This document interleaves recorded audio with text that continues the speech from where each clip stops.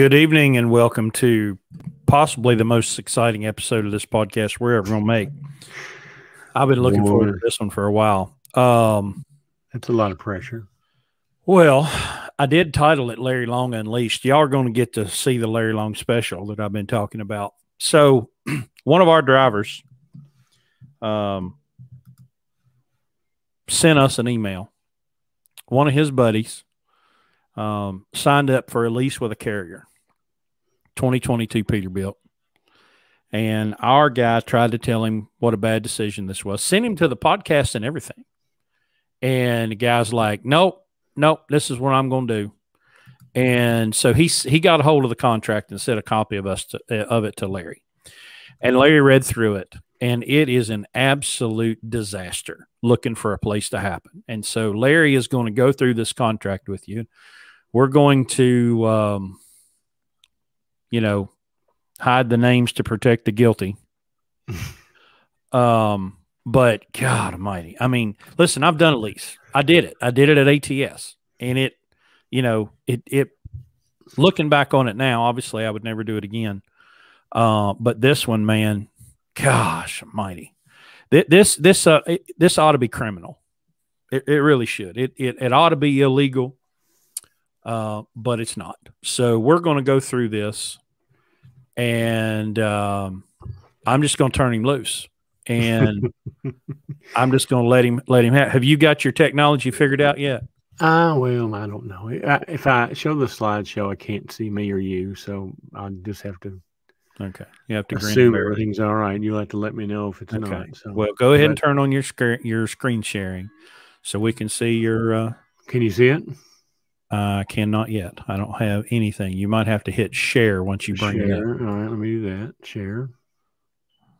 share. Y'all have no idea what it's like for me to try to get him to do technology. Keynote, share. How's that? I got nothing. So I guess I'm gonna have shared on my end. So I can see it. That matters to you. uh, While we're while we're doing that, let's before we jump into the actual lease, um, I you know we brought this up at the live event when we first introduced this lease, and um, there you go. I can see it now. And we, you know, we were had been talking a lot about things that cause people to fail in this business, you know, and and I was trying to get people to think about the mindset it takes to for someone to want to do this. You know, we we know it's a bad thing. We said you just said it ought to be criminal, you know. But yet hundreds, if not thousands of people sign these every day, you know. Mm-hmm.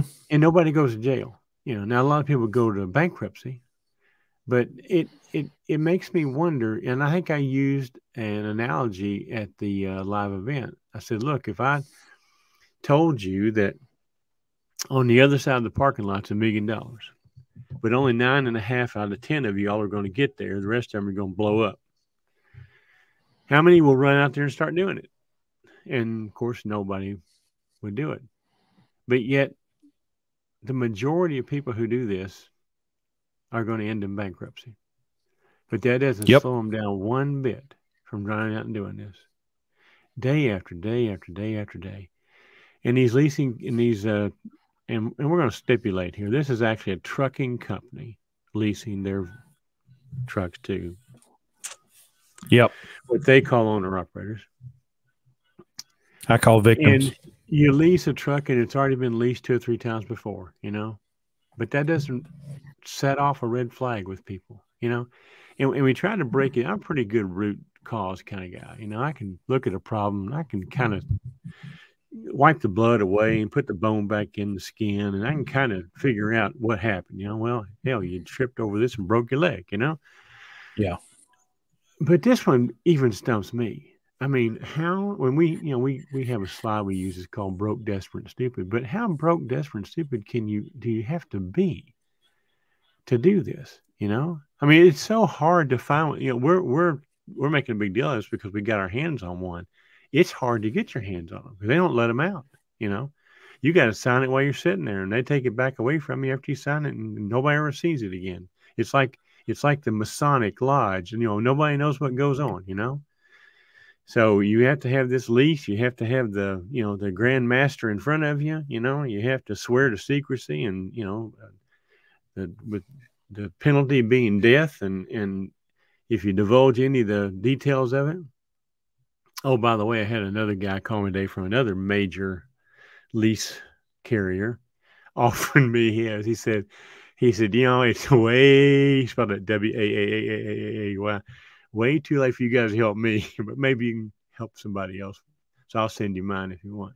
So I haven't responded to him yet, but but you know, and I just it still makes me hard to understand how badly you want to do something in order to sign something like this. I mean, it's not an easy thing to sign. You have to initial every page. You know, how many th- times does something have to make you go, "Oh, this just doesn't"?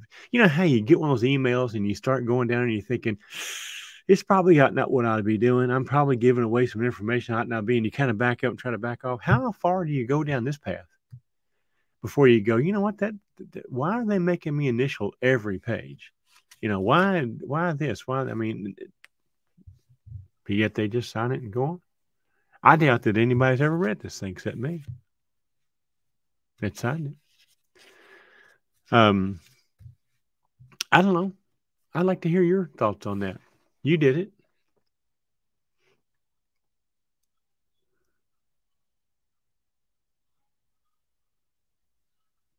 Can you not hear me? Can you hear me? now, could you hear me? I ask you a pretty important question. I'm really bad. Uh,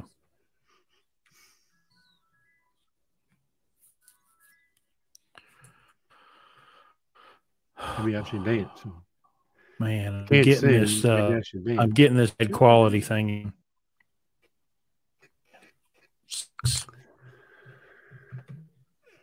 You're welcome, Smoke Bomb. Glad you were there.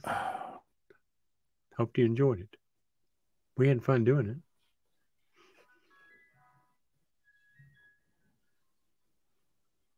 Is it going to work? We can just talk. We don't really have to have it if you don't want to. That's my problem. It uh it's it's the connection again. I don't know what that means.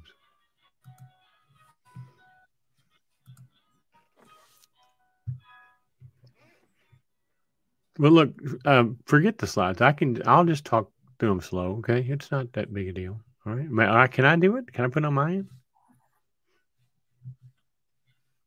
You can.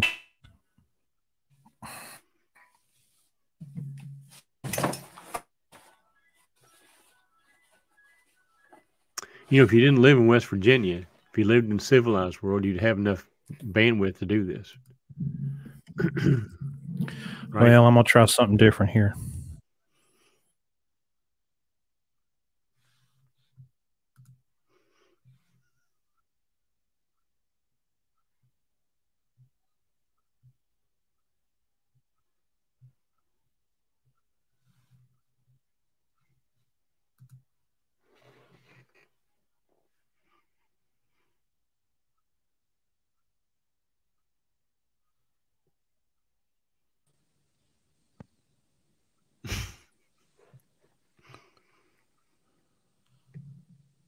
Can you hear me now? I can.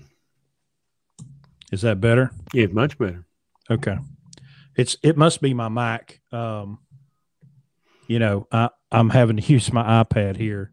Okay. Um, it's it seems to be working well. So, are you going to be able to do the slides? Yeah, I'll do the slide from the. Um, uh, yeah. Okay. So go ahead and start talking. I've been uh, talking. I asked you an important question. You didn't answer it. Sorry. What was it? Well, I was just talking about how desperate people had to be to be able to sign one of these, and you know what what the um, it doesn't slow them down. They do it every day. And I just was going to get your imp- input on what your thoughts were on the mindset of someone who would be willing to do this. You know, you mean you you did it. Well, it, it went back to desperation. You know, it was it was I was so desperate, and I I literally couldn't see another way to do it. Um, I had no money. I had um, no no belief that um, I, I, could save the money. I could make enough money as a company driver, um, you know, that I could do it.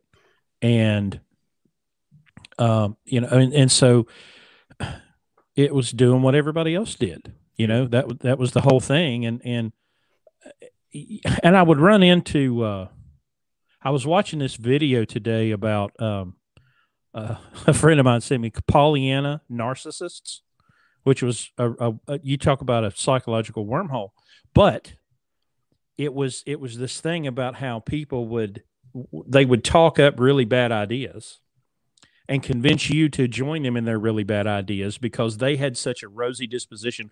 Well, th- these companies wouldn't do anything wrong to us. I mean, it, th- th- this is not a bad thing. And I'm going, you know, and so, um, well, boy, you, you open a lot of possibilities there. Yeah, sorry. I don't know which one I want to go after first.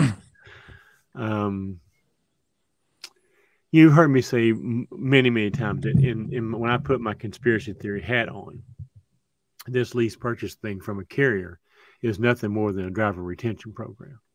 Nothing makes you more happy to be a company driver than to get your ass handed to you on a lease purchase, and then you'd be glad yeah. to go back and go, "Ooh, that didn't that didn't work." But you know, I start putting myself in the in the in the shoes of the person who would do this. All right, and and and you started. You know, you're people choose to be truck drivers for different reasons. You know, a lot of them it's the lack of wanting to socialize and be by themselves. Some of them want to see the country or so. but it's a pretty it's a pretty isolated world, you know, to spend, you know, 24 7 for weeks, days, and weeks at a time. Inside, basically a six by six jail cell that's on wheels with a window in front of it. and the only outside connection you have is, you know, your radio, your phone. You know, occasionally somebody will roll the window down and throw something in at you, you know. and you have a lot of time to think. I, I think I compare it to solitary confinement. Man, that that'd be rough, wouldn't it? Have to sit yeah. there and just think all day long. You know, well, that's kind of what you do when you're driving down down the road in a truck. You know, and got a lot of time to think, and you start thinking about how everything that you hate about your job. Okay, everything you can fix it if only you could call the shots. Now here here's where the desperation begins. Okay. Everything I hate about driving, you know, I hate my dispatcher. I hate where they send me. I hate the people I go to when I go when I see them. And on and on and on and on and on. You know, I don't like driving here. I don't want to do that. Don't want, you know, if only I were in charge.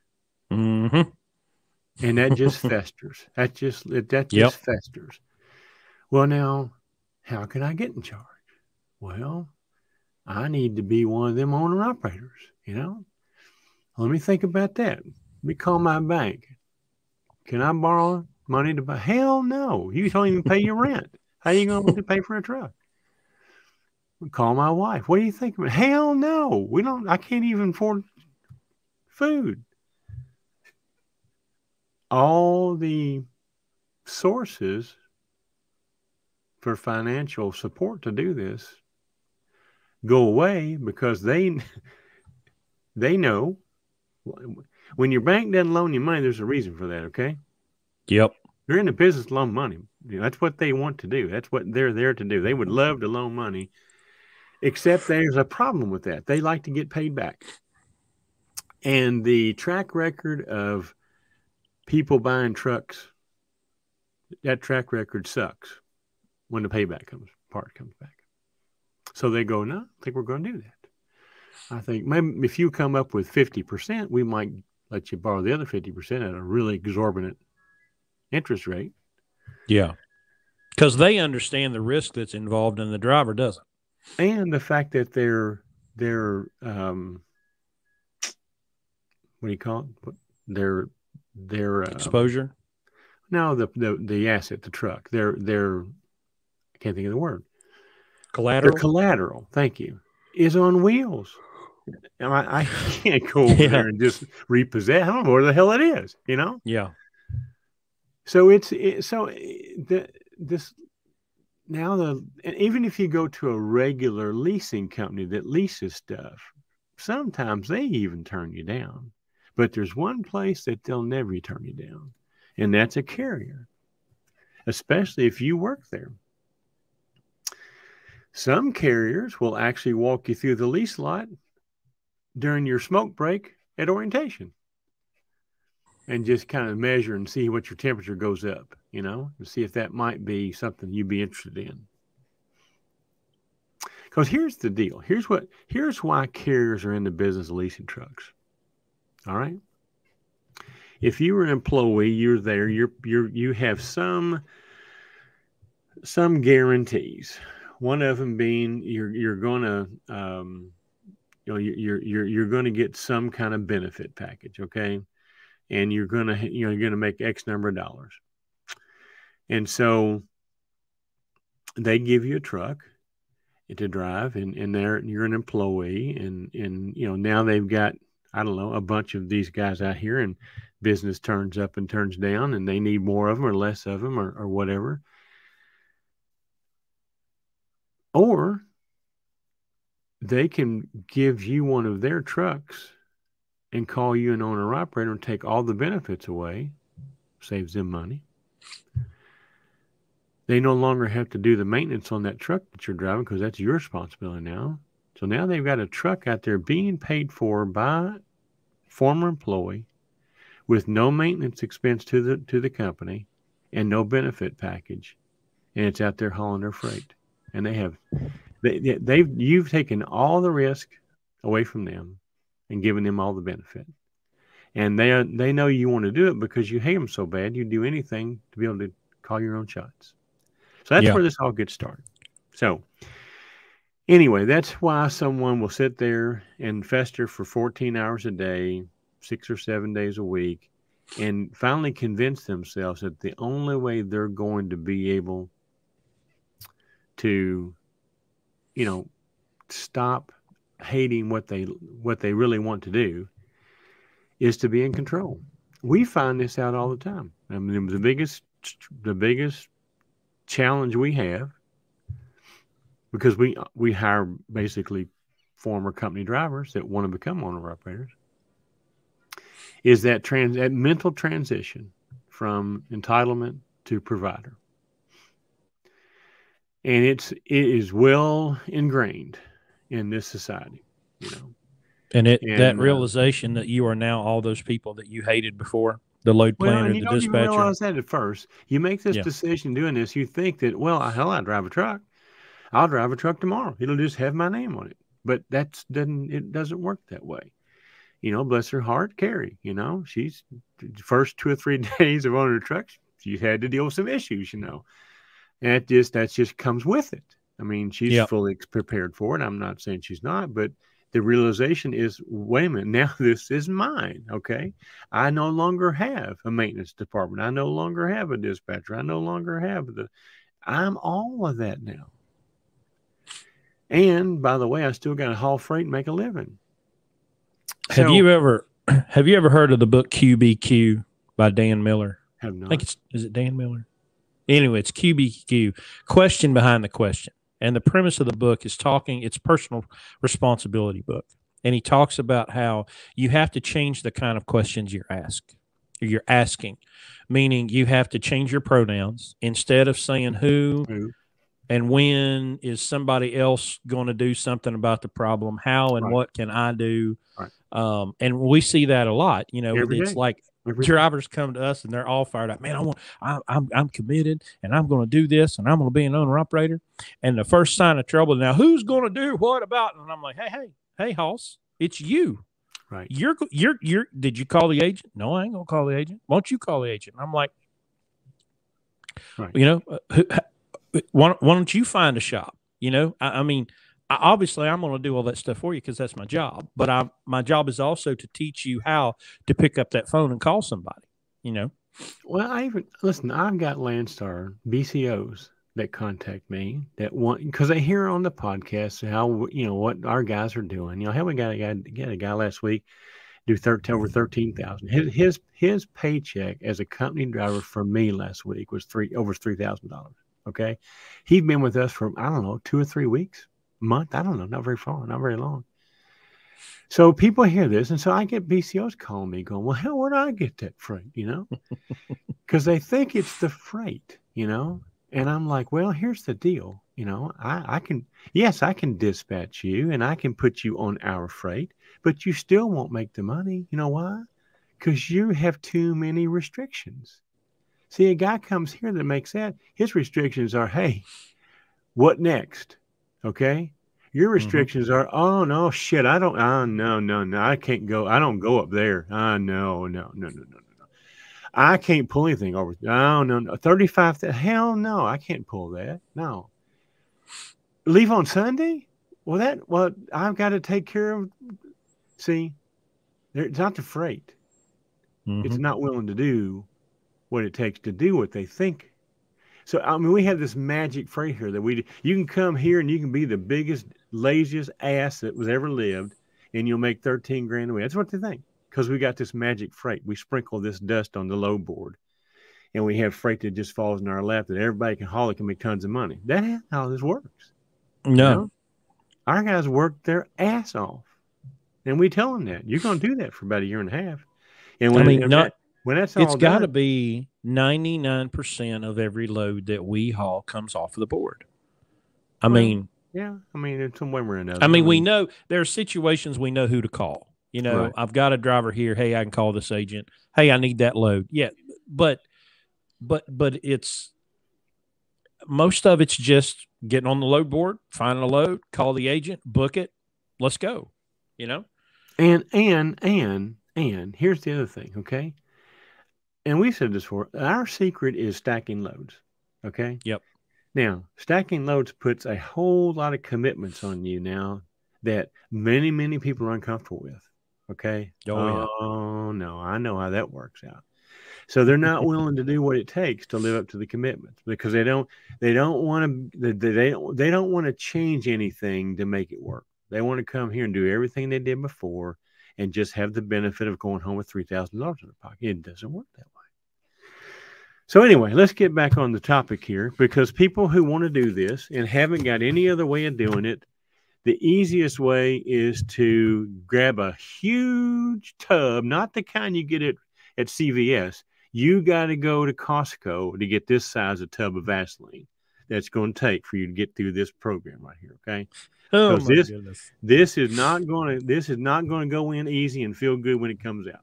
Okay. I can I can promise you that from the very get go. All right.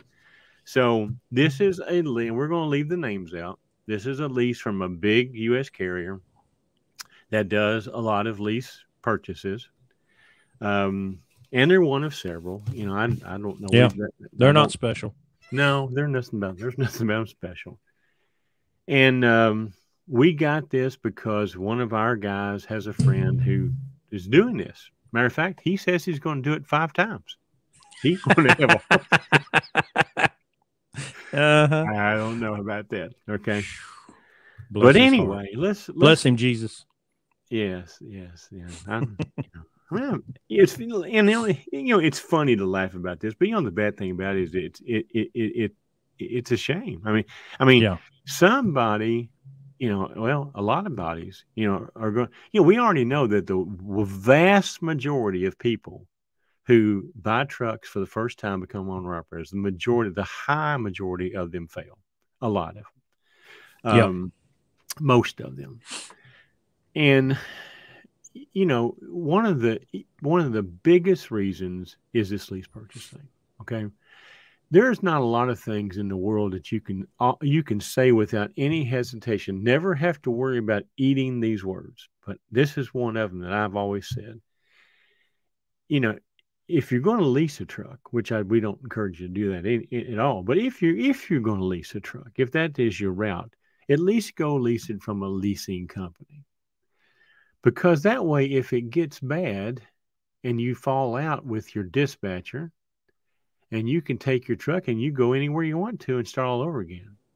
Yep. You lease that truck from the carrier, like this lease here is, and that's a marriage there is no divorce from even though it was sold to this guy as a walk away lease. Now, I want you to remember that. He was told this is a walk away lease. That's what he was told. All right. So let's start. This young person is going to get himself a 2022 Peterbilt 579 with a PACCAR motor. No, mm. no, it's a mm. Cummins motor. It's a Cummins motor, isn't it? Yeah. It yeah, it's Cummins. Cummins yeah. But it smells good on the inside too. well, got that new truck smell. Yeah, wait till he re- wait till he listens to this. That one of them seats ain't gonna smell so good. Okay. so it, the lease is for 104 weeks. Now, the very thing, he, very first thing he has to do is come with 2,500 bucks. There's a cash security deposit required up front to execute the lease. So you gotta walk in with that. All right. So that's on the counter. $2,500 cash on the counter and you're going to have 104 that's two years. You put an at in there it's two. You you missed oh. you missed it's two years at a thousand dollars a week. And the word rent is exactly the word they use in the contract. Rent. Hundred i mean a thousand dollars a week rent for 104 weeks okay? So you can already do the math on that okay? Now because they're afraid you won't file your 2290, they're going to do that for you. But instead of you paying 550 bucks like the rest of the truck world does, you're going to pay 624 just because they're going to do it for you because they assume that you're not smart enough to do it. Or you'll be so broke after doing this lease you can't afford to do it. now, along the way, anytime you're late, that rent payment goes up by 150 bucks a week and it stays at 150 bucks a week until you become current again. So if you get behind a week and you're behind a week and behind a week it, it does it stays at 150 so your rent now goes to 1150 a week until you get current again. Now a payment these now when you see italicized that's that's verbally that's that that's taken verbatim from the lease document here in front of me. A payment is unconditionally and absolutely. I'm pretty strong words, okay? Mm-hmm. Unconditionally and absolutely, okay? Due every week, regardless of whether the truck's running or you're off or whatever. You know, there's no loads. It whatever the reason is, unconditionally and absolutely due every week. Also, this carrier who who this lease is with is required to deduct the payment from your settlement every week, regardless of how much your settlement is, even if it puts you in the hole. By the way, if it if it puts you in the hole, you have until the next payment date to pay back what was not paid by your by your carrier. Or that puts you in default, and we'll talk about what that means. It says on here specifically, this is a net lease. Now look at italics, at italics again. All cost, expenses, liabilities associated with the truck are solely the responsibility of the lessee. So, in other words, whatever happens, it's on you. There is no remedy here. Okay. There is no um par- golden parachute. There is no safety net. There is no this is yours to take care of and only yours to take care of.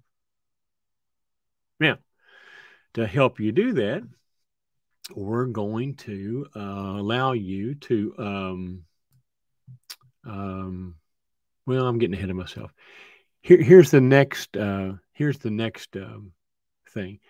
Every 25000 miles you must take this to a Peterbilt or Cummins dealership for an extensive PM schedule. Stealership. Every 25,000 miles. Now, you can't go to Carl at TA. Mm-mm-mm-mm. Can't go You to Speedco.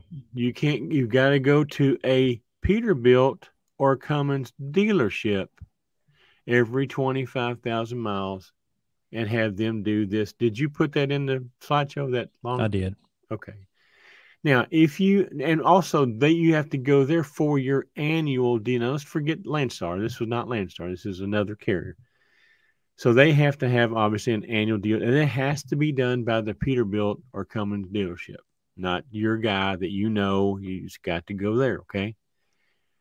Failure to do this is a fifty dollar fine, and you now are in default. Now we'll talk about what default means here in a little bit but that's not what you want to be in is in default. That's when that tub of Vaseline really got to come out. Okay. now let's take a look at what these things are going to be, Chris. Go over the well, that's really small. Can you go over that real quick? I mean, it, it's a regular PM, but Yeah. So you got change oil and filters, change air filter, check rear end and trans lube level, grease tractor, check coolant level, freeze level of coolant, coolant additive level, which I don't know why they have that on there. It's, all these trucks have got red coolant. Um, check wheel seals, alternator, air governor, heater, cab sleeper, operation of all lights, accessories, wipers, horns, clutch, fire extinguisher, gear shift, doors and windows, fan clutch, hood locks, belts, oil leaks, fifth wheel, air tanks, coolant leaks, fuel air leaks, exhaust leaks, clutch linkage, alignment, AC cooling. Uh, items missing if, if there's anything gone to radio, mattress, deck plate, other batteries, tires. Uh, why do they have? Because I took this straight from the lease. Why they have tires in all caps like that is is interesting to me. And all the the condition of the of the uh, list tires that are dipping. Now, I bet you what's interesting about that is after our um, seminar that we did with Mike uh, Beckett, these brand new trucks come out of the uh, off the stimuli line all over the place and will destroy tires in a in a matter of of, of months because the alignment sucks so bad.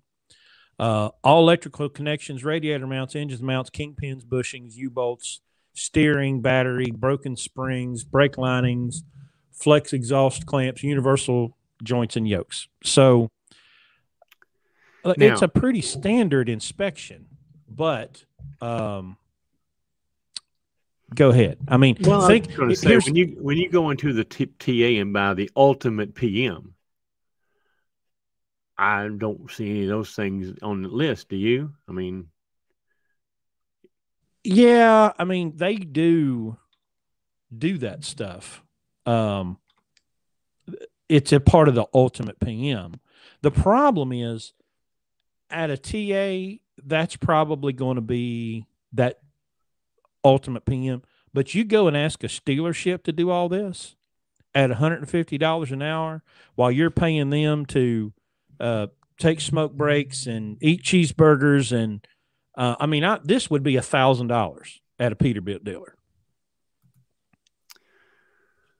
well, we know how much some of these PMs are because we've got a couple of Kenworths that we are running for other drivers. I mean, other truck owners, and those uh, just just a set of filters for one of those is almost four hundred dollars. Just just the filters that you use to to change.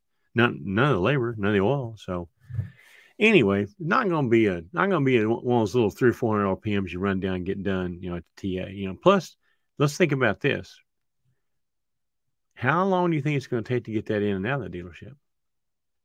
Oh my God, a week.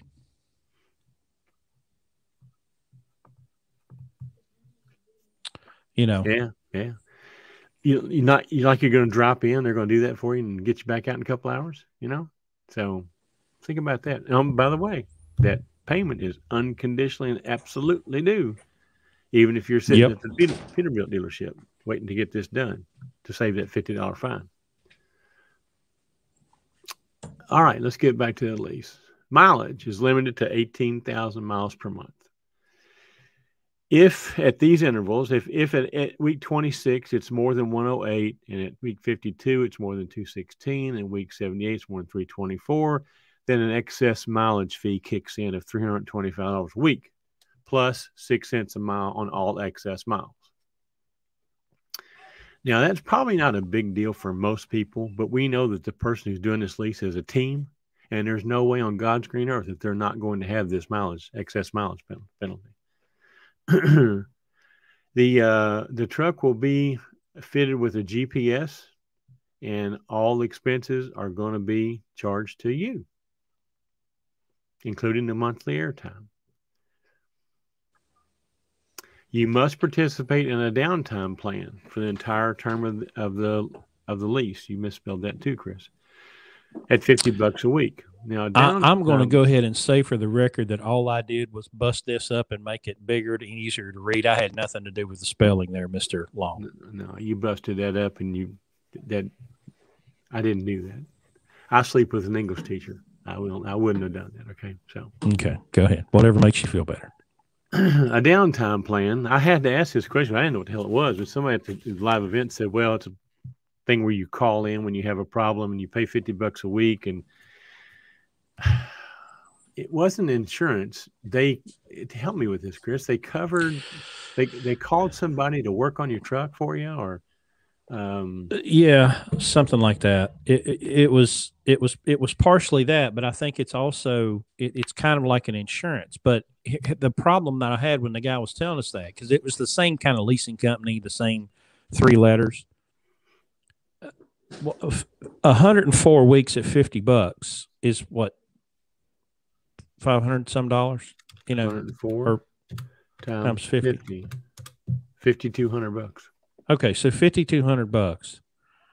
All right, that's going to cover what five of these lease payments? I mean, eh, it, it's oh, also it, so it covers your payment if you're down. Is that what it does? I think I believe so. I, I, I think that's. I think you said that. Well, anyway, yeah, whatever it is, something like that. You got to do it, whatever it is. It's a scam. That's what it is. It's a scam.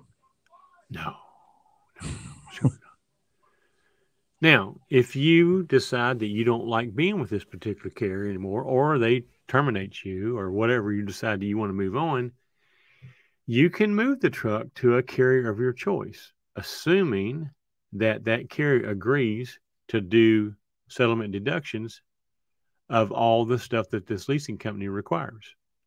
Okay, so they got to agree to do everything that the carrier was going to do who leased you the truck.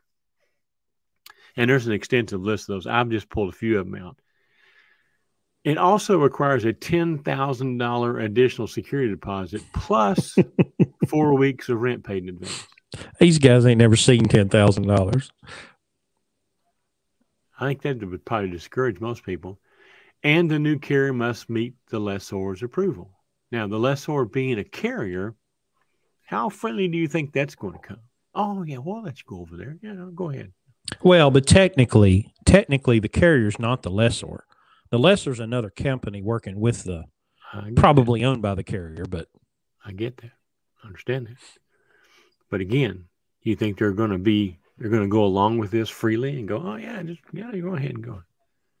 Well, if you could take one of these trucks to Landstar, for example, and and you had all the all the appropriate skills to find the right freight, and you work 365 days a year, you could probably make fifty or sixty thousand dollars a year. you think? Maybe.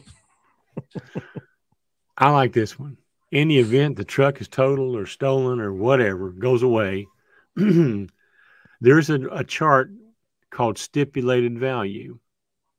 And it's a predetermined value of the truck at every week during the lease. Now, I didn't put them all in there because I'd still be typing, but I hit the high spots. Yeah. But within 30 days, it's on you to pay that stipulated value. The lessor then takes the truck and the insurance benefit goes to you. Okay. Now we'll get to that in just a minute. And at the end of all this, if if everything still goes well and you you survived it, you can buy this truck for seventy eight thousand dollars. Now, Chris, after you've paid one hundred and four thousand dollars for it let, let's I need that stipulated value. It's a, it's down almost the last one. All right. So here's this again. There's 104. Actually, there's 140 of these because I guess most people don't get get finished in two years, so they stay for another third year. But I just pulled out the first year, first six months, in six month increments. So week one, the very first week, the stipulated value of the truck is one hundred fifty six thousand dollars. Okay.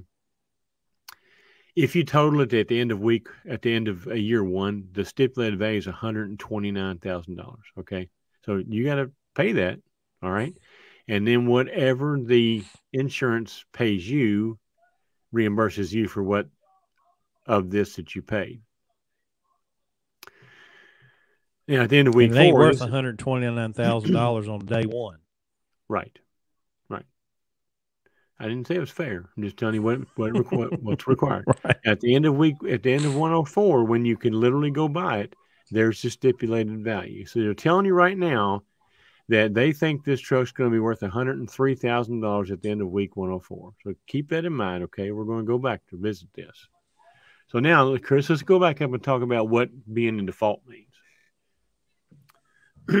default. I'm assuming everybody knows what default means. Default means that you violated the terms of the contract, okay, and Yeah. that it is subject to being canceled and repossessed and all that sort of stuff. So anytime your rent payment is more than five days late, you're in default. And also don't forget you have a hundred and fifty dollar late fee until you get it back out of default per week. If the carrier terminates you, you're in default. If you abandon the equipment, you're in default. If you commit any act of fraud against your carrier or the lessor, you're in default. If you fail to maintain that truck and that schedule, that 25,000 mile schedule at the Peterbilt dealership, you're in default. If you let your insurance lapse anywhere along the way, you're in default. If you go bankrupt, you're in default, regardless of whether you keep paying the truck payments. If you file bankruptcy, you're in default. Failure to provide financial records because you also have to participate with ATBS uh, to do your books the whole time you do this. It's a requirement. so anytime they ask, you got to give them your records. And you have to participate in an eight week intensive consulting program when you start this lease. Any any violation of those is is default. Now, what happens when you go in default?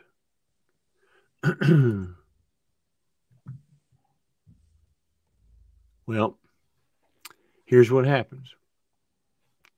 It becomes what's called early termination, or as Richie's friend said, walk away. Walk away. Well, here's what happens when you walk away or when you go in default immediate and unconditional forfeiture of your $2,500 security deposit. Or if you moved it to another carrier, that would be $12,500 security deposit. Loss of all escrows, maintenance, tire, any kind of escrow automatically goes away. Enforced collection of, and here we go, italics again, costs arising from the recovery and returning the truck to pre lease condition. All attorney's fees, uncollected rent payments, taxes, fines, and any other remedies upon the breach of the lease. now, what part of that sentence right there has walk away in it? Not a place. Let's say it again. Enforced collection of all costs arriving from the recovery, returning, and, and returning the truck to pre-lease condition. This truck has 944 miles on it. Now, what do you think it's going to cost to get that truck back to that condition? Plus anything you owe them, all your all your uh, late payments that you have made. If the tires are not at the tread depth that they were when you the truck was leased, they had to be brought back to that tre- tread depth. Now, what do you think the tread depth is on a tire that's got 944 miles on it? What part of that's walk away? At default, your weekly rent payment goes up to $1,500 a week in four week increments until your default is earned. So you get into default until you get out of default, your your weekly payment just went up to fifteen hundred bucks a week. That's to help you get out of default, by the way. Give you a little assist, little little leg up. Besides the fortune of the security deposit and all the escrows, there's an early termination fee of two thousand dollars, not to be construed as a penalty. not to be construed. As please tell me that that should have been in italics. It should have been. Oh that, Oh that is gosh. that is verbatim, not to be construed as a penalty. So there's your walkaway.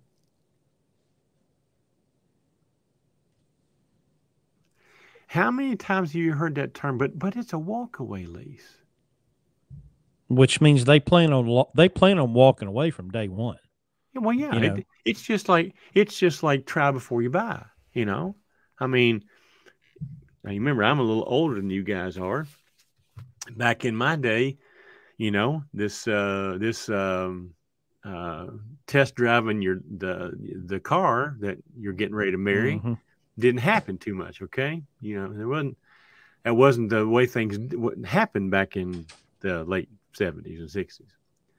So anyway, now you uh, now you got the car, you're stuck with it. Okay, so this uh, this, walkaway thing, you know, I mean, it's it's a popular term. It's a walk away. Um, but the only person here that can walk away is is the is the Is lead, them. is the carrier. you know, they can walk away because at any point in time they declare you in default. Everything that you've paid, you, you're never going to see that again. Every, you can make 103 payments. And there's a question over here from Andy Does the carrier guarantee miles? Well, that would be a different contract. That's the contract between the truck and the carrier. But I can tell you right now that they don't. Which is, No. I, I started. I started this whole thing out saying that there's very few things in the in the world where you can say always or never, and never have to worry about eating those words. So I'm going to tell you what they are right now. Okay, never, never, never, no exceptions, ever lease a truck from a trucking company for that very Ever. reason right there. Okay? Because all they have to do is make it hard for you to make that payment somewhere along the way. And they get that truck back now and they can do it all over again. And you're now a happy company driver. That that dream of yours is gone. Okay? Yep. so let's look at the numbers, Chris.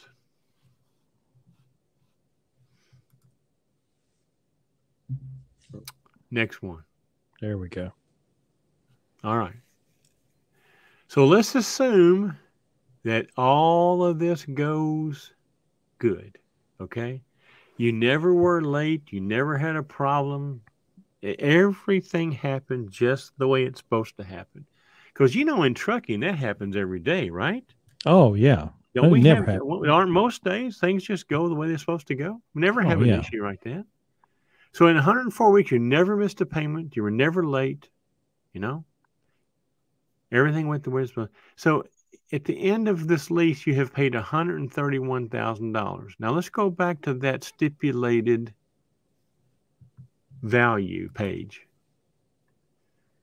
At end of week 104, what's the stipulated value of this truck? One oh hundred two. and three thousand dollars. Okay. Yep. Now let's go back to what we've paid. We've paid one hundred and thirty-one thousand. Well, not too bad. Only thirty thousand more than it's worth. Except now to buy it, you got to pay seventy-eight thousand more dollars. So It's now, if you put this together, you just paid hundred thousand dollars for the privilege of buying this truck from this leasing company. A hundred thousand dollars. Well, it's only fifty thousand bucks a year. Well, yeah, okay. Here's the bad part about it. Okay. What's a what is a company driver gonna make at this company? Does anybody know? Chris, do you know? Richie's on there. Richie, do you know? What's a company driver make at this at this at this particular carrier? probably, depending on, you know, how diligent they are, they could probably make somewhere between fifty and seventy five thousand. Company driver. Company driver with zero Maybe. with with zero possibility of having to pay any of this stuff right here, mm-hmm. or be at risk for any kind of maintenance. And by the way, who's going to pay that maintenance bill? You know that that's not even in here. Okay. Yep. also, what's you know what's not in here? Fuel. Even if you could make the twelve hundred sixty dollar week payment, fuel's going to be another fourteen fifteen hundred. Okay. What's uh what you know? There's your escrow, but what's the maintenance actually going to be? Richie says fifty to one hundred five, depending on what you do and how often you go home. Okay. So let me ask you a question. What do you think that this person here is going to make after paying this? So, Richie, help me here. what is this person here going to make after paying this $131,000 at the end of two years to drive this truck? Not counting all the fuel he's going to buy. I mean, the point I'm trying to make here is I don't believe that this person here is going to make more than he did as a company driver. Oh, hell no. I think he'll make much less. And I think, and he, and he has all of this risk.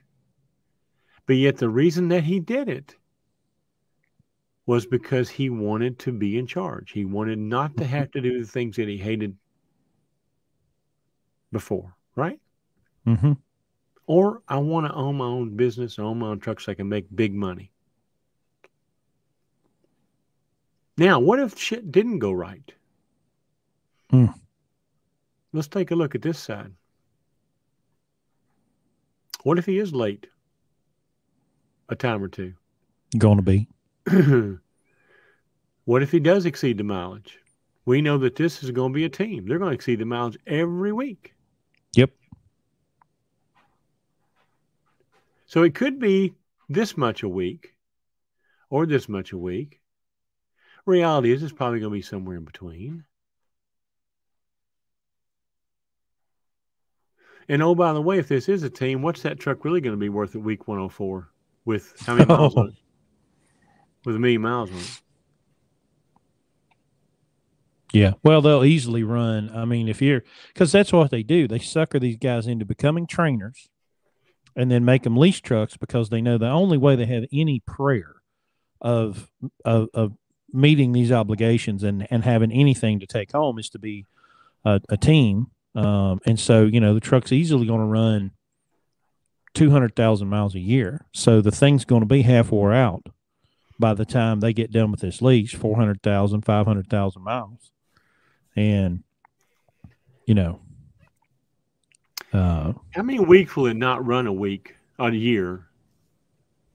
I mean, let's face it. We don't have any. We don't have even Richie doesn't stay out fifty-two weeks. No. How many weeks a year is this not going to run? You know, at least four. And then how many weeks is it going to be in the shop with emission problems, waiting on at least right eight? Now? Yeah. There's twelve to fifteen weeks this truck won't run. And what's that going to cost? Hmm.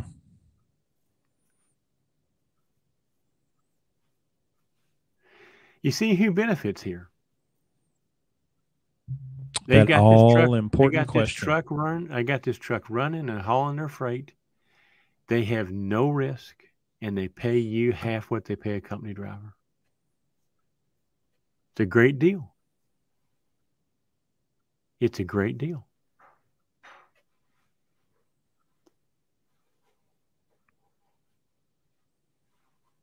But let's go back to the original question. Why would somebody do this? Do you think they explained this to them when they signed the lease? Do you think oh. that this has been deconstructed like this and explained to them? Do you think the the thing is all highlighted like I've got it? nope.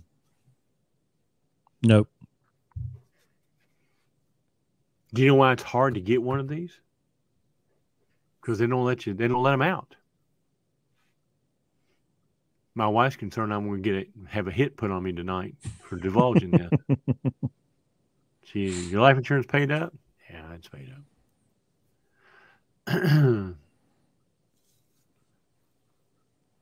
but it, it look it, it didn't. it took 30 minutes for us to explain this how, how what a bad deal this is even if you succeed at it which most don't it's a rarity that somebody completes one of these it's a rarity even if you do what have you got you've paid uh, okay let's go let's take the best possibility if nothing went wrong you're paying $210000 for a truck that they're telling you right now is worth $102,000 before you start.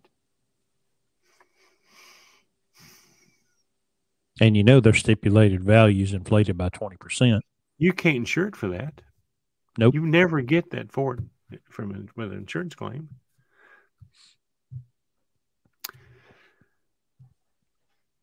I, I just I you know I did I honestly cannot tell you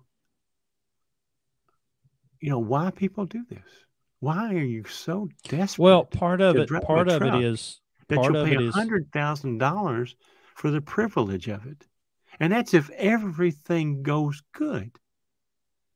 Well, that's what I was going to get to. Part of it is there's something in this society that says, well, it's not going to happen to me. You know, Right. What happened to that guy? This, uh, I, I'm, I, I'm, I, I know what I'm doing. Of course, which is what leads them down this road in the first place because they think everybody, the load planners, the customer service people, the, the dispatchers, they're all, you know, we ain't never drove truck.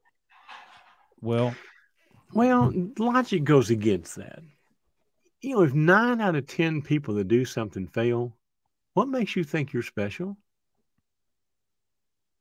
How are you going to be the one out of 10? You know how many people go to the NBA every year versus how many people play basketball every year?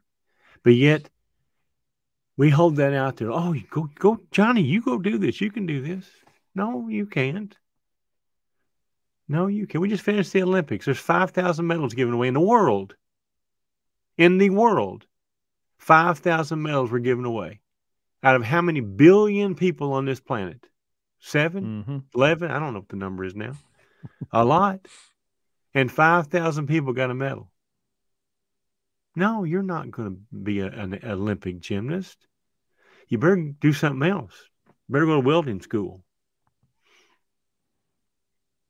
yeah. What do we call that in our plan? In our um, what do we call it in our pre- presentation? Something. Can't think of the term. False now. encouragement. No, what are you talking Yeah. about? I don't think it's false, but yeah.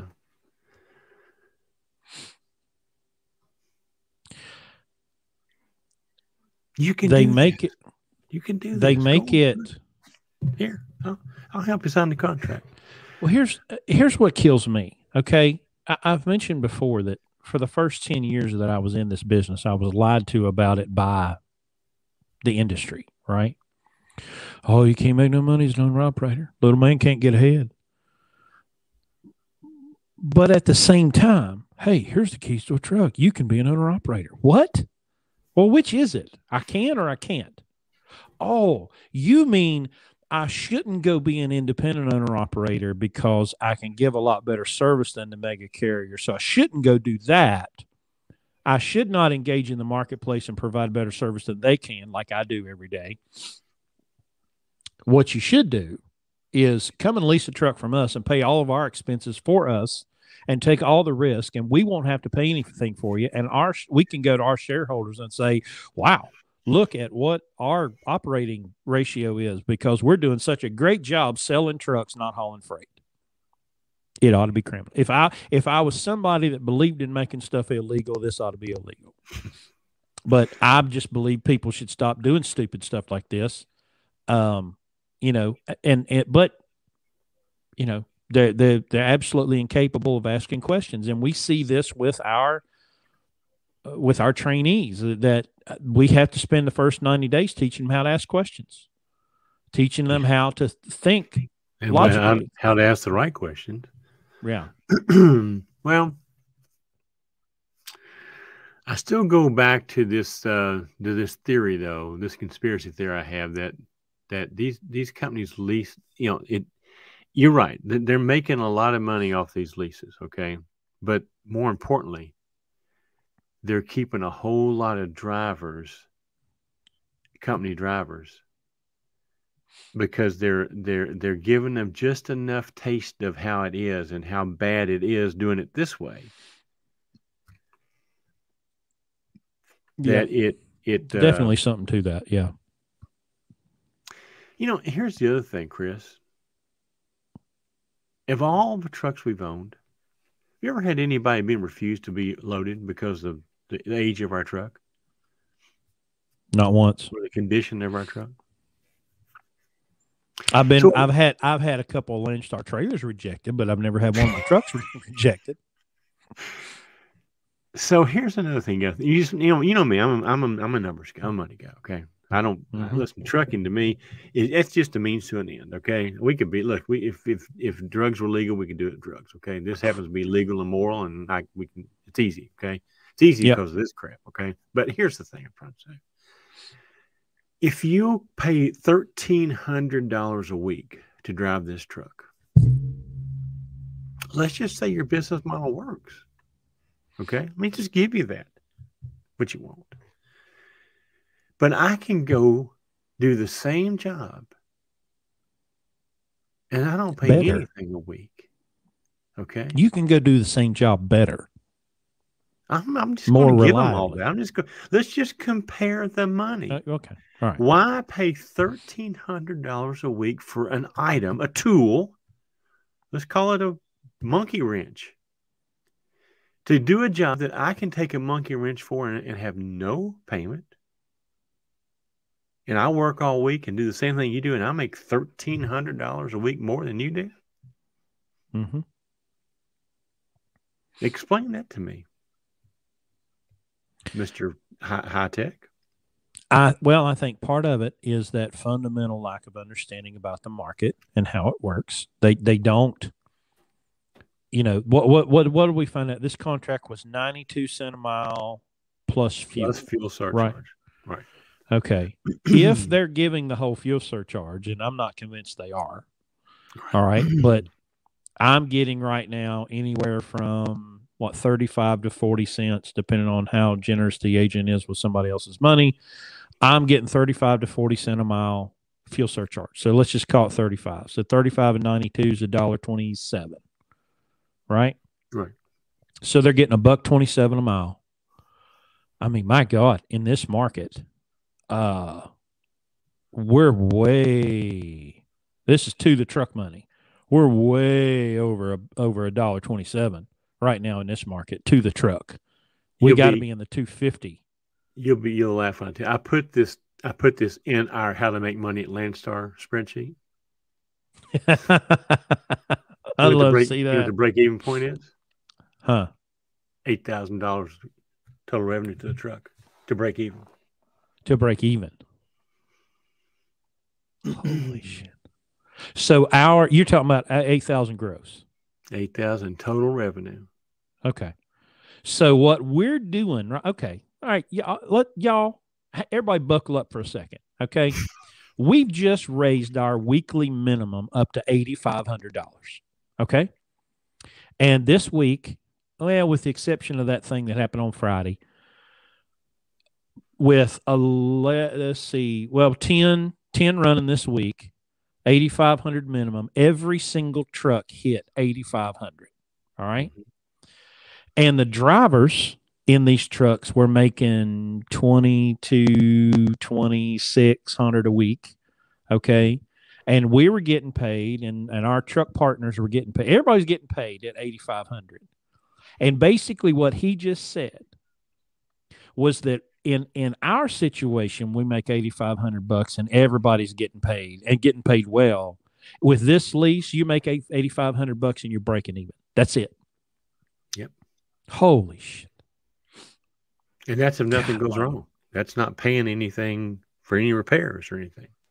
And that's assuming it's going to get seven and a half miles a gallon, which it may or may not. I don't know. God. but the point is, take trucking out of it.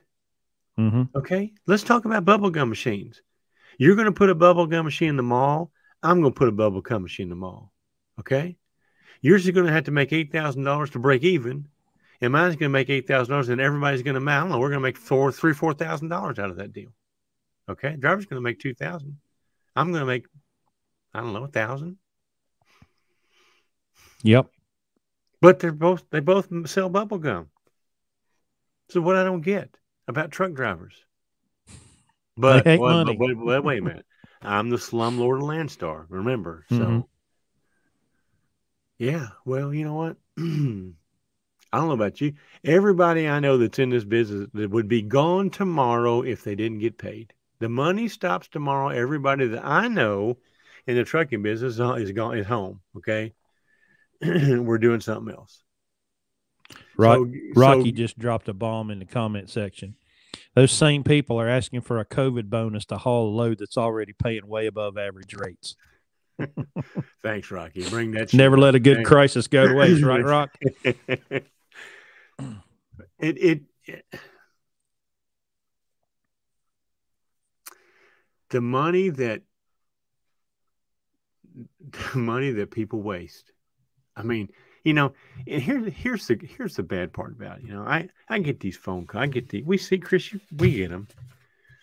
Yeah, I mean, company yeah. driver, company driver, all of his life, he's 55 years old, and all of a sudden he woke up and he realized that wait a minute, I'm not saving any money.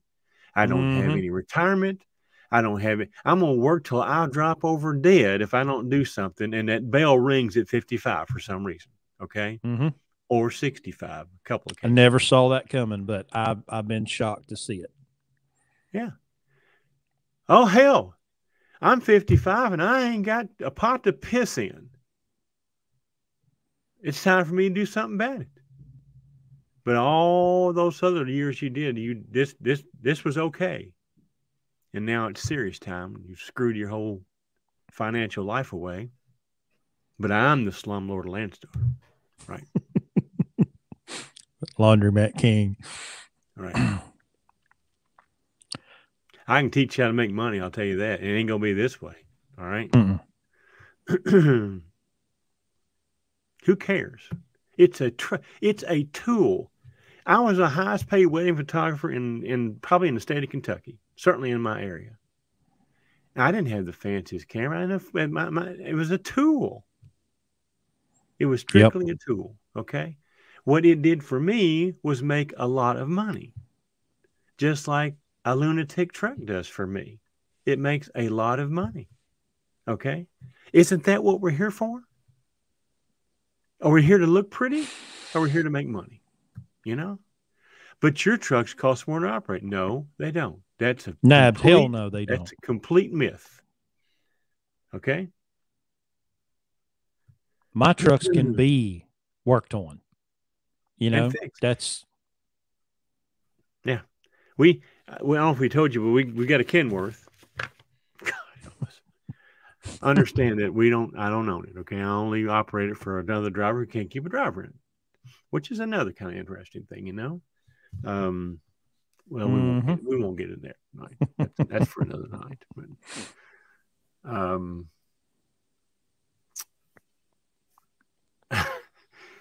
this thing spends a week at a Kenworth dealership. And after a week, we just give up. Gillis, I had to go up there and he thought I was going to have to go up there and, and, and smack a few heads around, um, but I didn't. We went up there, we took the truck back, we took it to Carl, said, Carl, we got to have his truck in a couple hours. Just, it's been there a week. See what you can find out. Hour later, he calls Chris goes, Come get your truck. It's fixed.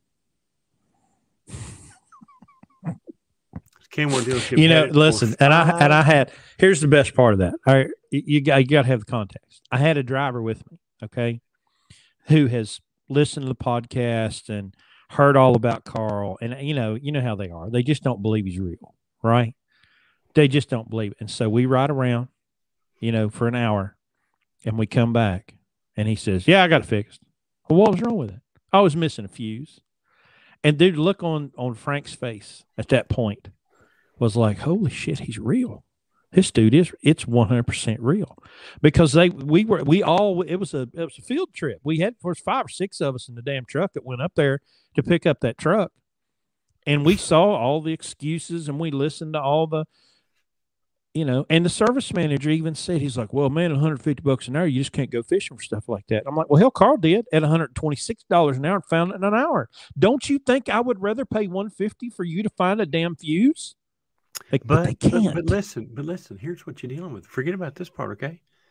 We had special order part that they do not stock, have never ever stocked. Okay. Oh yeah. Paid for it took it up there, and when they dropped that truck off, we said, put that special order part in there that we've paid for and find out why this wiring thing, why this electrical thing's not working. Five days later now. Five days later, they've had this truck. Five. Yeah. You know how much money you lose in a truck in five days by it sitting there? Right now, eighteen hundred bucks a day. So we go up there to get it, and they haven't put the part on. Well, we can't really find the part. Really? Well, there's one on the shelf up here, but they got nobody's name on it. We don't know. I'm like, okay, let me just wait. Wait a minute here, genius. Okay, we've told you that we've. Here's the part number. Okay, here's the freaking invoice where the part number it says paid. Okay, you've got one in there on the shelf that you don't know who it belongs to, but you don't stock it and I'm needing one to put on my truck, and you can't put two and two together and come up with four on this deal, and and then you want, and then on top of that, you can't find the damn fuse, and you wonder why I told somebody, I told everybody at the live event, if you ain't never, ever, ever going to see Larry Long's name on a title of a truck that starts with KW, okay? for that very reason right there alone. I wouldn't deal with them crazy son bitches if it was the only truck left. Yeah. They had to ask permission from Kenworth to change the damn speed cruise control setting on it. Mm-hmm.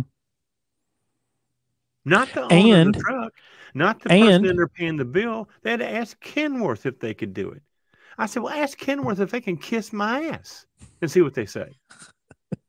Did I not? And don't forget that in order to find the pinion seal, they had to call Kenworth for that too.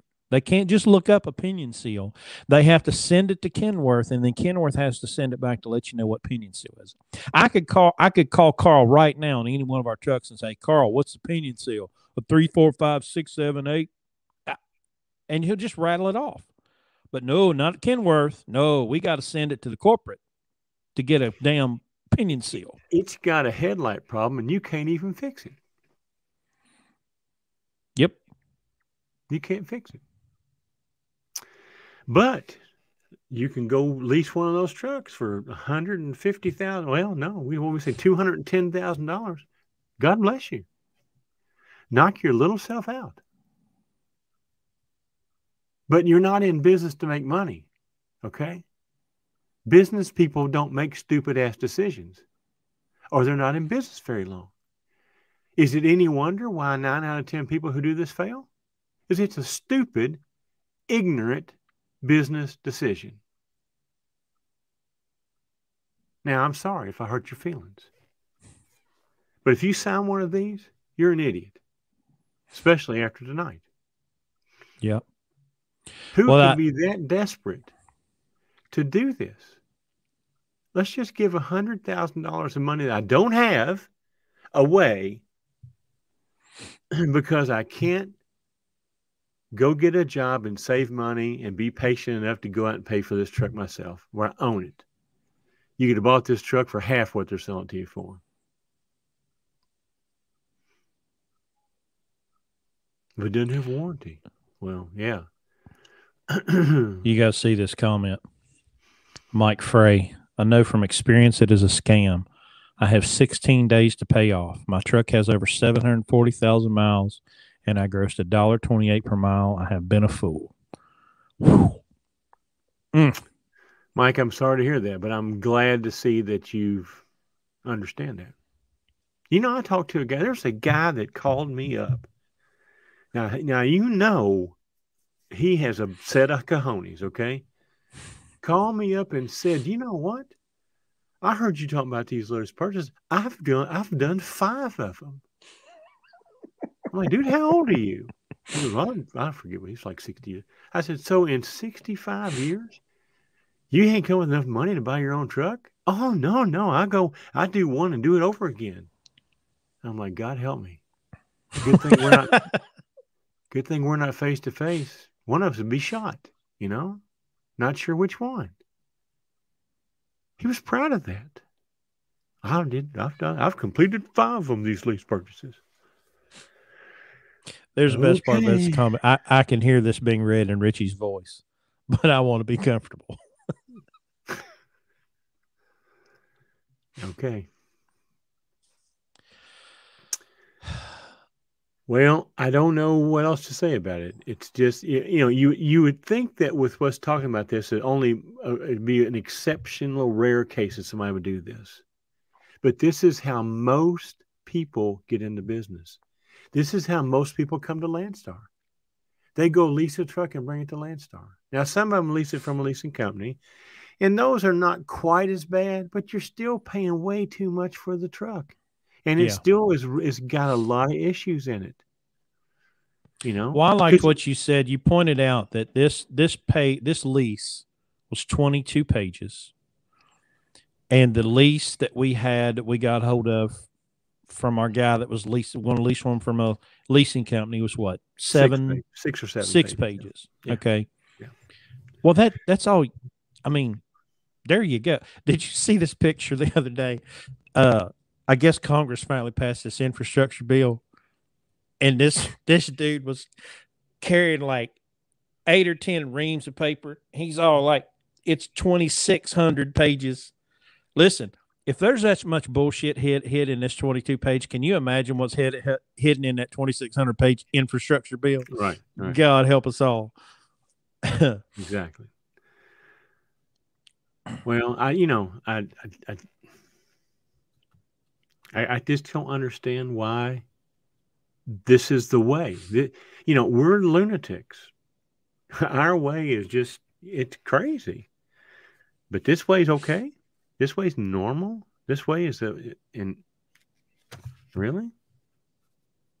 I don't know. Maybe it's me. Maybe I am crazy.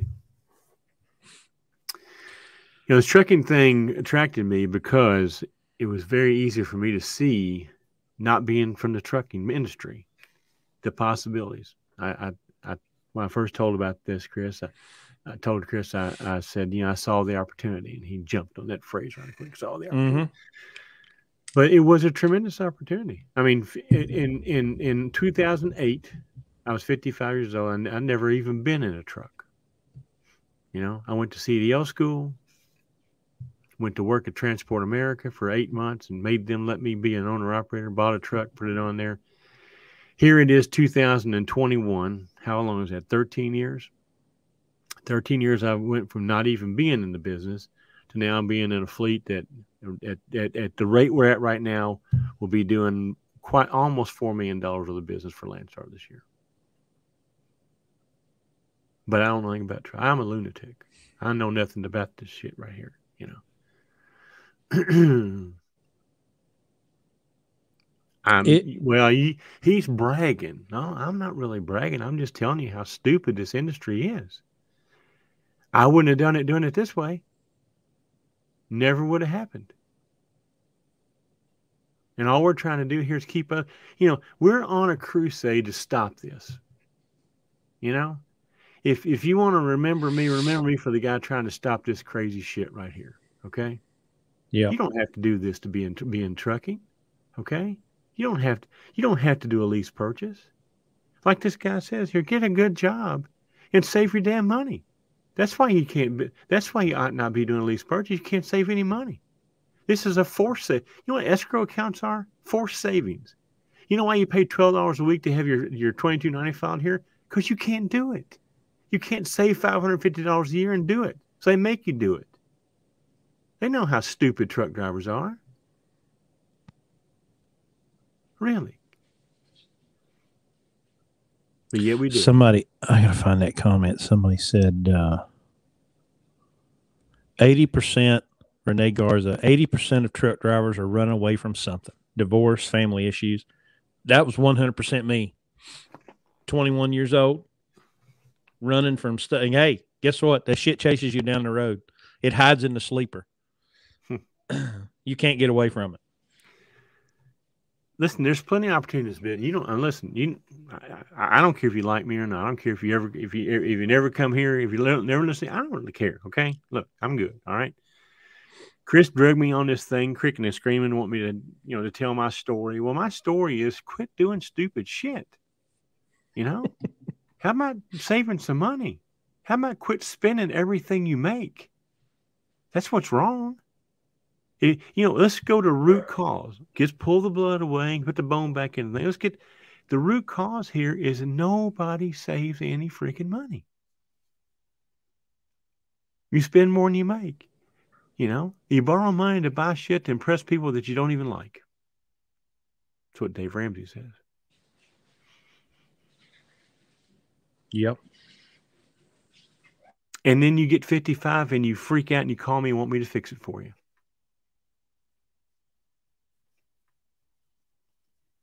Landstar sent me a guy this week. Well, I'm about to lose my truck. Yeah, tell me about it. Well, I did, did, did yeah. I'll do anything to save my truck. I'll pay any price to save my truck. I said, Well, the only problem with that is there's not a price that you can pay to save your truck now. Two or three years ago, been an easy price to pay. Well, see, you will pay a price. You choose to pay it now, or you can pay it when you don't have a choice. But if you do stuff like this,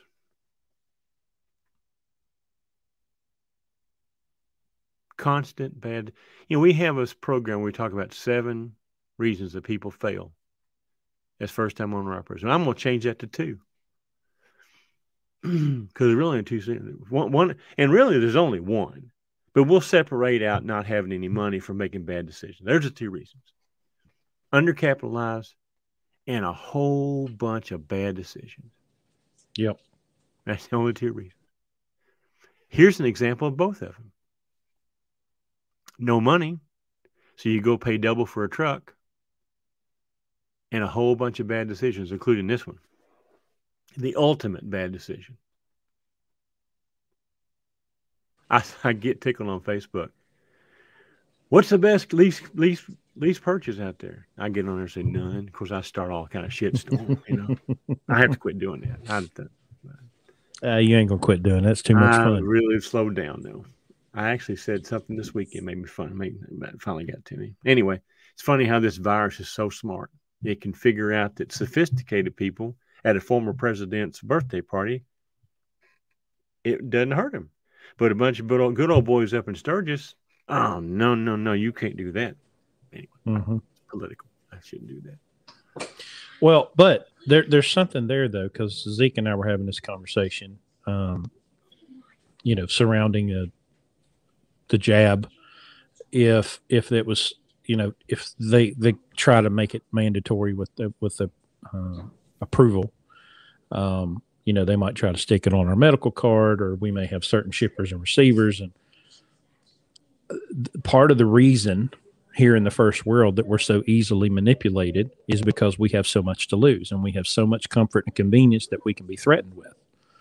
Um, you know, so it's uh, it, it's it's much easier to get you to to give up certain freedom, I guess, or liberty because you you don't want to be uh, you don't want to lose that convenience. Well, um, that's funny, Richie. Um,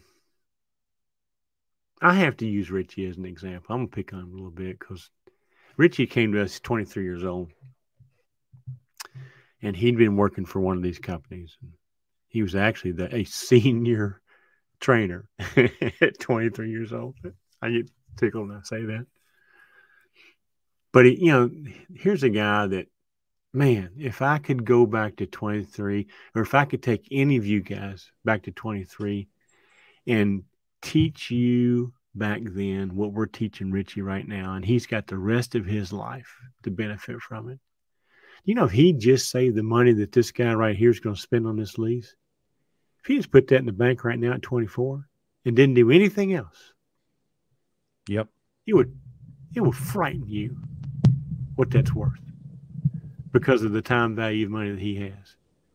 He's the opposite of the problem I deal with. Okay, he's got plenty of time now. If I can just keep him to quit doing stupid shit, we live long enough to enjoy it. But you come you you come to realization that after you know 55 or 60 years, you know, and you don't save any money and you don't plan for your retirement and you don't do dude i'm sorry but it's it, it's tough. You're going to be working for a while you know? And as much as we can improve your income and teach you how to do it here still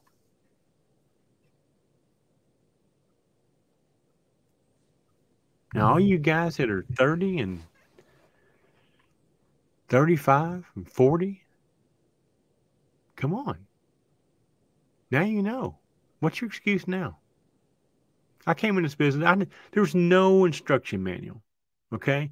I had to put together my own, you know, my own training program. I couldn't, you know, you say what you want to about Kevin Rutherford. Now, he's a little controversial now because of his health stand, but oh, by the way, truck drivers tend to be pretty unhealthy, you know. But um, anyway, we won't get there. But anyway, I uh, had to figure out what what what was I going to use as my instruction manual to learn learn this business and how to do it. You know, I, it didn't exist. I had to go find it. I put it together. Now we hand it out for free. You know, people people comment, "Well, you, y'all just give it away." Yeah, we give it away. Give it away, and still people don't use it. Okay, I guess if we if we sold if we sold it for a bunch of money, they'd value it and use it. Maybe I don't know. We're going to start requiring a thousand dollar subscription for every week of the podcast. Yeah. Maybe then everybody will start using it. You know, we just give it away. You know, I had I had thirty people at the live event last week, paid two hundred fifty bucks a seat. We saved them that before lunch. Gave oh, everything yeah. else away. You know. So, look, we're just I'm just here to try to keep you from making dumb things, making dumb decisions. All right. This business is easy. Business is easy. All right. Take the emotion out of it. And it's easy. You know, you make money. Make a lot of it. More of it you make, the better easier it is. Also, more fun it is. You know what's really fun? I mean, I left last Thursday, went to Chicago area and spent all weekend with my grandchildren. Got back home, I don't know, two hours ago. While I was gone, I made a shit ton of money.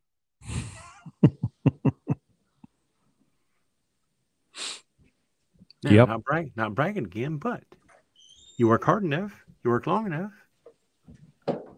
it pays off.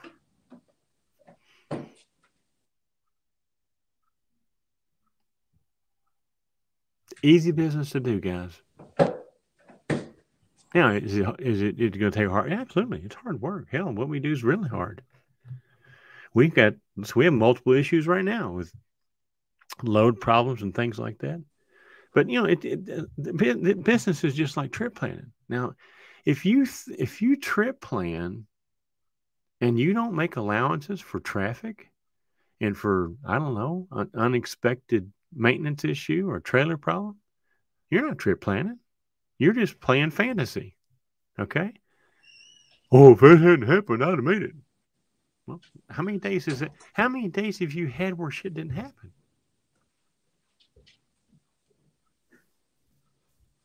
It's the same with business. You know, oh, you're lucky you did it. No, no, no, no, I'm not lucky.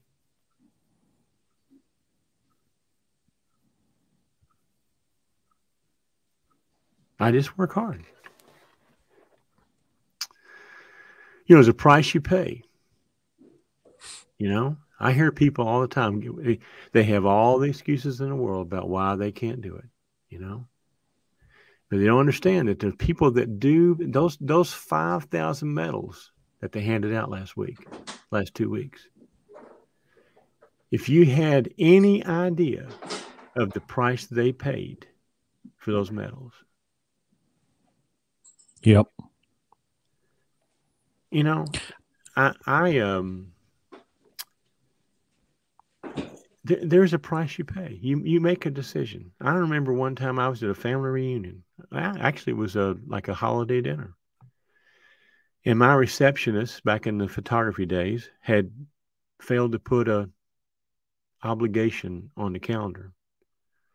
And we're sitting down to holiday dinner. I get a phone call, and this guy's, "Where are you?" I'm like, "What are you talking about? Where are we? I'm having Thanksgiving dinner."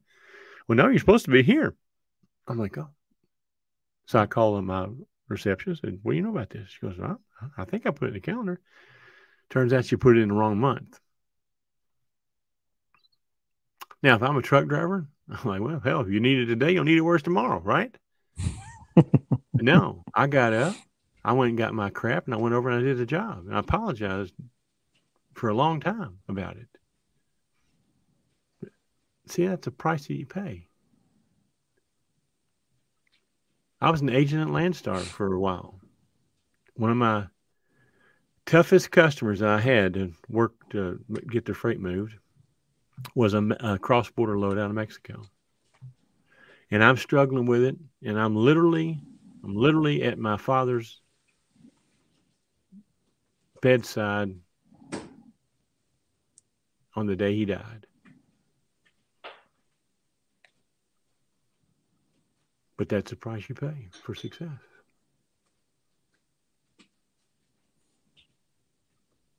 Been easy for me to go, hey, I'm, my dad's dying. I'll deal with this tomorrow.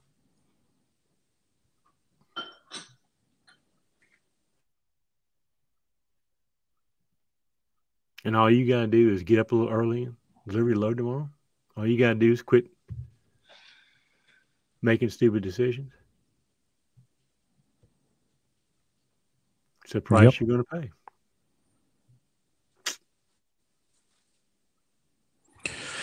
Well, let's roll through some comments here. Let me see if I can find some. Uh, Robin, really enjoyed the podcast, video, blog. I've learned a great deal from you too. Thank you, Robin. Um, Smoke Bomb, thanks again for the live event a couple weekends ago. I'm assuming that's somebody that was there. Uh, we had a great, we had a really good time. That reminds me, um, uh, I saw a comment here about Carl. I don't know any mechanic that will stay up to 3 a.m. chasing an electrical short and have to be at work at 8 a.m. 8 a.m. except Carl. Dude, now, on that week, dude, he showed up at the live event. He'd worked all night the night before on a guy's truck at, at, at TA. Now, remember, he gets off five o'clock. He worked on his own all night fixing the guy's truck because that's Carl drove Get, to the event, was up all day, two hours, worked all day at the event doing inspections and putting on OPS and so on. We found him asleep in his truck and got him up I got a call. the I was hotel out, room. I was out behind the hotel drinking beer, and my phone rings and like, uh, I need you to come out here. Okay.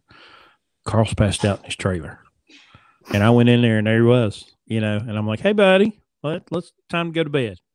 you know. And he, man, I'm telling you, it was like walking a drunk. I mean, he, he didn't know where he was, you know. And I took him, made sure he actually got to his room. And then the next day, I don't remember who he told. Somebody's like, "Watch out! I got some sleep. I'm ready to go now," you know. and stayed there till three o'clock that morning, chasing electrical gremlins on Byron's truck. You know, um, I mean, the work ethic is just unparalleled. I've never seen anything like it. Uh, Oh, Derek, when you do these leads, hey, but you have the nicest truck in the truck stop for a year. uh, that's a relative term. Let's see. Oh, what's your opinions of these passive income trucking courses? Well, I don't know specifically what you're talking about, but I do know that a lot of this if you want to hear somebody go off on passive income, go look up Gary Vaynerchuk um, on Instagram, TikTok. He's he's everywhere. Um, but the way with the level of profanity that he will use when somebody asks him, because they see passive income as, you mean I can make money and not have to work? No, no. But passive income is the passive income strategy is the 21st century version of the pyramid scheme You know, it's just a way to sucker you into buying a course that probably doesn't work. It might work for one percent. It's it's it's the least deal of of, of course selling. Um, it's the old get rich quick scheme, you know. Yeah. Do it this way, it's easy. You know, I see them. I see them. I know what you're talking about. I see them. I've never inquired into one of them because, I mean, well, uh, in a, I mean, there is there is a passive income strategy that we employ. Most people are just not willing to work hard enough to get there. You know, I mean, take Well- Zeke. Y'all, y'all watched the interview with Zeke. That's passive income. He's not actively working day to day operating the truck. We are. Okay. He made his money in crypto. He invested in the truck. He leased the truck to us. We're doing doing the work. And he receives passive income off of that. Now, it's not enough for him to live on yet, but he wants five trucks and he could live off of five trucks. Um, you know, but that's that's technically passive income. But these courses, they're going to sell you a course, and the most they're the ones making the passive income. The people that are selling you the course. Well, that's where the money's to be made. that's my point. Okay, you you could say what I do is passive income. Okay, Right. except that our guys make a whole lot more money than me. Okay. So you have to understand there has to be some, you know, somebody somewhere has to do the work. Somebody somewhere has to make the money. If the money is being made by the passive income person, not the person doing the work, then that's that's a house of cards. Okay. So what I can see of these guys is it's it's trying to get into trucking without owning trucks, which I mean, heck, we do that too. But there, but that that that win-win i don't know that it's there i mean what happens after you pay you the money and buy the course and then it does it's like those real estate things that used to you, you all you could always get into real estate with other people's money except nobody ever Mhm. did it except the guy who sold the book you know? Yeah. so if it's not really a real opportunity it's not really an opportunity i mean somebody's going to make some money okay but it is it a real opportunity i mean again like he's talking about the the uh the um the um pyramid or multi-level marketing kind of a thing. You know, it's uh it's got to be a real opportunity. The person's going to do it has to make money, and there has to be a, it, it it has to be fair. You know, it's not fair for me to make a bunch of money and my guys doing all the driving don't make any. You know, it's just the opposite. Theirs is guaranteed. I'm the one that might not make any. So I'm the one taking the risk. Sean Chastain, I came into this industry five years ago thinking I could make good money. Five years have passed and nothing good until I came across you guys. Maybe one day I'll get away from this blood sucking company. Well, appreciate the the feedback, Sean, but I got to encourage you. Maybe one day is a very imprecise statement. Maybe that day's tomorrow. You know, I mean, if you've been in this industry five years and you've got a clean record, you can go find somewhere um, to increase your income. Maybe you have to specialize. Maybe you have to learn how to do tanker. Maybe you got to learn how to do flatbed heavy haul. Maybe you got to go find somebody doing blanket wrap specialized in a van or household goods or whatever it is. You got to make yourself more valuable um, and then go find that value, you know. Um, you know, so, uh, you know, stay after it. But uh, like Doctor or not Doctor, but uh, what was it? Zig Ziglar said, if you hang, if you aim at nothing, you'll hit it every time. You know, um, so go go get some. Um, I can't find solid R- ROI information on various wind deflector devices because there isn't any. It seems like they would pay off and reduce fuel consumption because they're cheap. Do you know? Do you run with them? I Well. Well, I mean, we we've we've got a couple trucks with uh, air tabs, um, and I've heard people say good stuff about the FlowBelow, but it seems like a pretty big investment.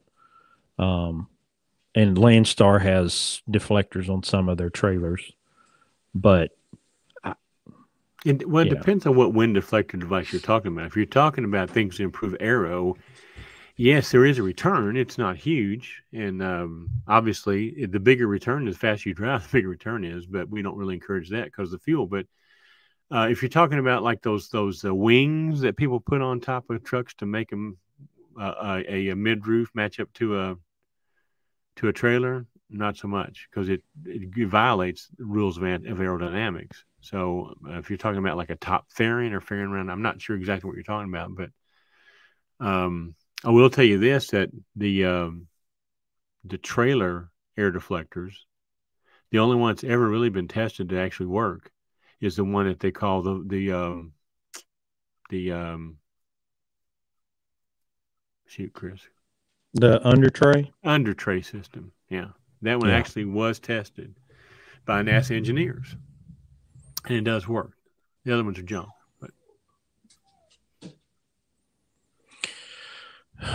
William Haynes, I'd rather be a blue loon than a broke fool anything.